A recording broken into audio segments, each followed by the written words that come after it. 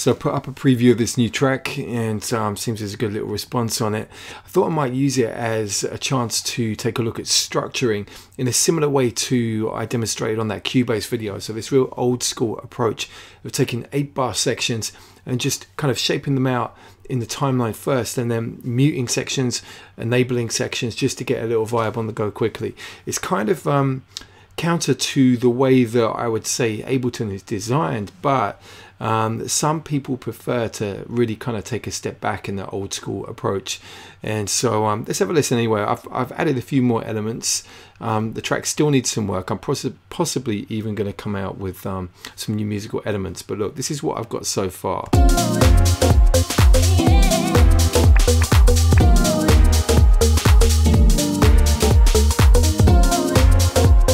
So um, take off some of these this is pretty much what you heard on the demo that I uploaded last night.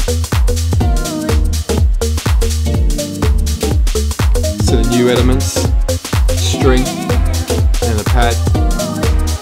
So they're not all designed to go exactly the same time, but look, what I'll do is we'll do this approach. So we're going to take um, all of these. Let me just basically do Command A, select all, and I'm going to hold down the mouse button and push tab.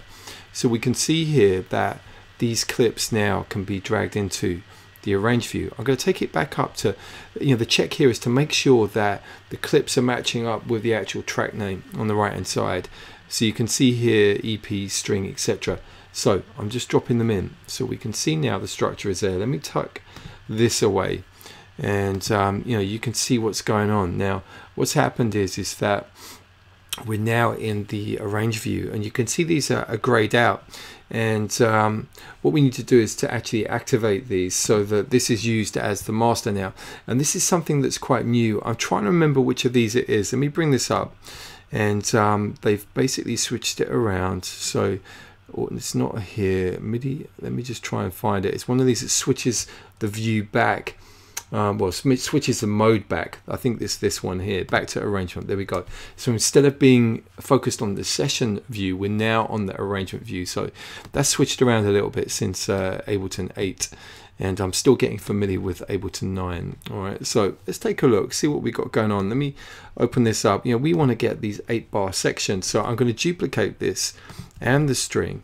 And uh, let me tuck that away what I want to do is to get these to 8 bar chunks I'm going to consolidate I'm going to right click come down to consolidate here. So we're getting these 8 bar chunks the same concept as that Cubase video. So what we want to do is to basically end up with a whole load of these 8 bar sections. Just going to remind myself of the key command in a second. So I've got these little skippy snares. Gonna basically get these selected as well. Good spelling there. Got a T instead of a Y uh, but I was doing stuff quickly. So consolidate, right, it's Command J, so I remember that for next time. Uh, just used the wrong one there. Let me just get that sorted. In fact, what you just saw is what we're going to use to mute the clips. So it's deactivating the clip. So Command J, uh, organ bass as well. Let's get these selected. Couple of um, audio loops down there. Let me just get my beat uh, set up as well. So there's a real mixture of uh, elements here. Once again, nothing too complicated. This little shaker loop here is an audio loop. These crunchy hats are a little audio loop on top as well. Sometimes I do that. So I do the main backbeat as programming and then add some layers on top. I'm just consolidating these so that we get these nice and tidy. The vocals are basically MIDI clip again, so that's eight bars. So that's cool. Just going to listen and check that everything's all right. So here we go.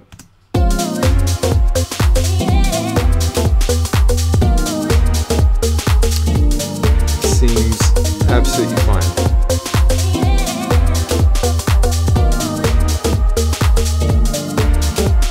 Okay, so look, that's everything sorted out. And um, I'm just going to get the colors sorted out. I'm a little bit funny about this sort of stuff. Um, this is for aesthetic purposes at the moment. All right, so eight bar chunks. Um, whilst I'm here, let me just sort my naming out because that's going to drive me mad.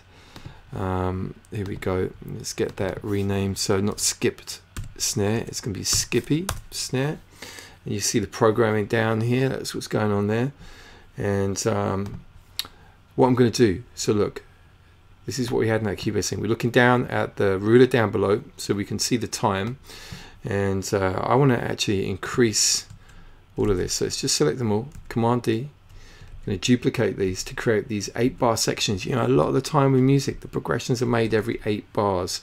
I'm going to keep going here. And then I'm just going to zoom out and select the whole lot. Command A and Command D. Just filling it all out. Now you can see we're just above five minutes down here.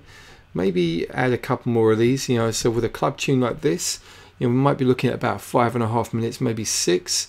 So you can see we've got everything running there. And what I'm going to do is do Command A, and then I'm going to right click, and we're going to say here deactivate clips. So that's that's what we've got. We've got nothing. All right. So this is going to be our little foundation, and we're going to start building stuff up. And uh, I would say that we should start with the beats probably. So we're going to do here, uh, activate clips. Let's have a listen. So that's a real basic beat that I've got set up. I think actually we'll need to bring something else in. So we're going to just come back on here and activate this one again. So what's that? Zero. So let's click on here. So pushing the zero key now just for speed. So we can get this sense of shaping the track out. I think actually I need those crunch hats to start off with. Also, probably we need to get some uh, crash cymbals and stuff like that on the go. Um, let's see how this feels for the first eight. Yeah, I definitely feel that's a good start. The skippy snare I'm going to bring in on the next. Keep that running. Oh look, I've got my pad badly named as well. Look, I'm to leave it. So the skippy snare's coming in.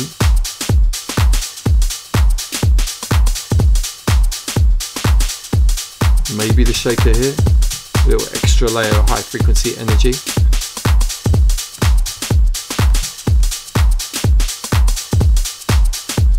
So we'll probably have some kind of a, a fill coming up. Drop out some elements maybe here and then bring in the bass.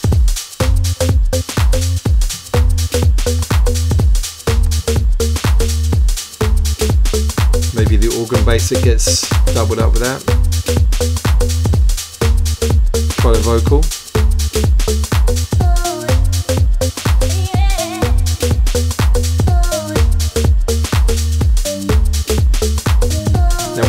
About this particular sequence is, is that it's almost feeling like it's a progressed structure. So it's like this yeah vocal. I'm gonna basically delete these and see how that feels.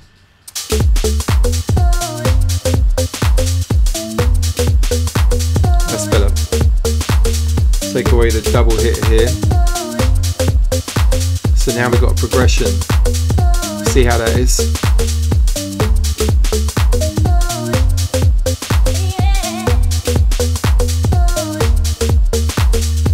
Maybe bar 49 we will have a breakdown. Let me see how this goes.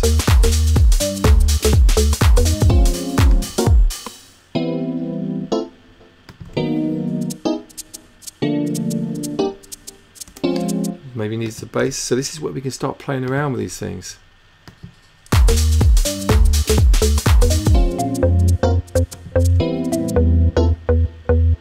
Maybe the vocal back see how it feels now.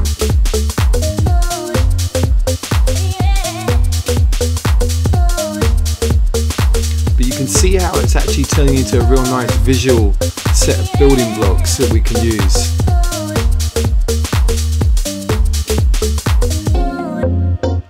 Yeah, maybe. Let me see if I bring this string in here. Yeah, quite like that.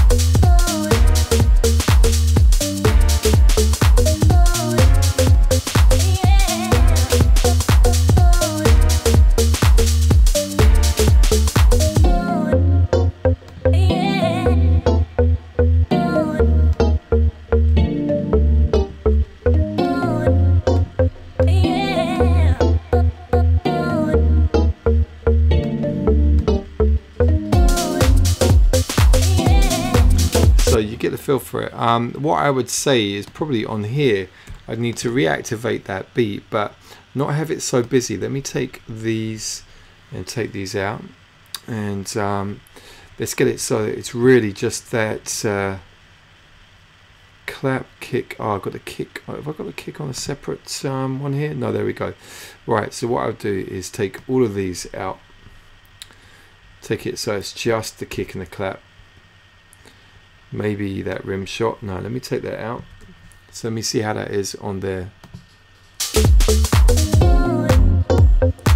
To keep the momentum going I think that's going to work better. Maybe this back. Okay just going to shorten that.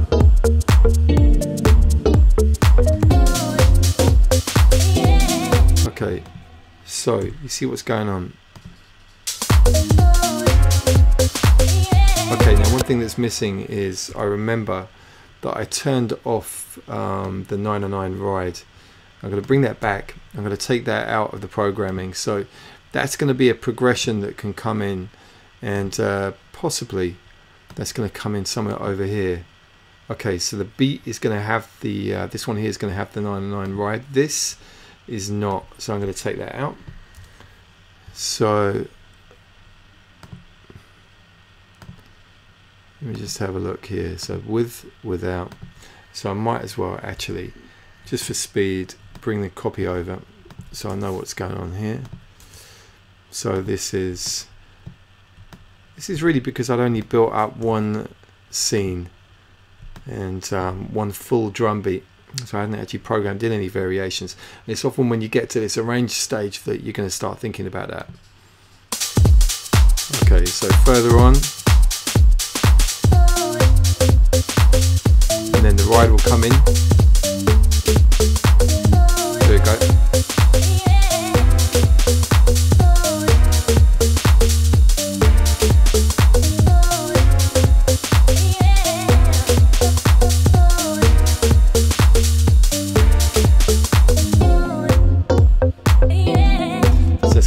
Main riff with that electric piano. So um, yeah, I just wanted you guys to take a look at that, you know, as a concept for arrangement.